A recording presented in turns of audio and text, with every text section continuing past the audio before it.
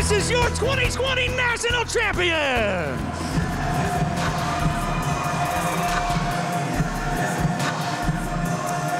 Boy, what a great day for the Big Blue Nation. The Kentucky volleyball team returning to Lexington this afternoon to celebrate winning its first national championship, and they did so in front of the BBN faithful at Memorial Coliseum. Sports Director Keith Farmer was there and has more. Well, if you think about it, Coach Skinner and his Wildcats have come into this Memorial Coliseum so many times in their careers just for practices, to walk through, for other events. This time was much different. They were able to hoist the NCAA National Championship trophy in front of the BBN faithful.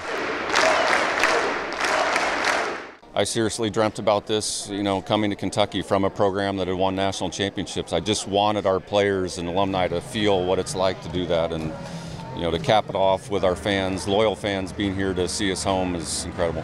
It's amazing. I mean, we're not surprised how the BBN showed out. They have been so amazing throughout all of my four years, and I really didn't understand it till I got here just how great everyone was, and they support us through everything, and it really means so much. The support that we felt, even being in Omaha so many miles away, was immense, but walking in here and, and having that embrace with the people that really have the bigger impact on, like, they have such a big impact on us, and I don't even think that BBN knows that, but they do, and to be able to feel that and walk in and just share those moments, and it, it means everything. So the Wildcats had four seniors. They, of course, have the chance to come back for that extra year given by the NCAA. Will they do it? We'll have to wait and see. But this team for sure is now on the map and ready to defend its NCAA championship.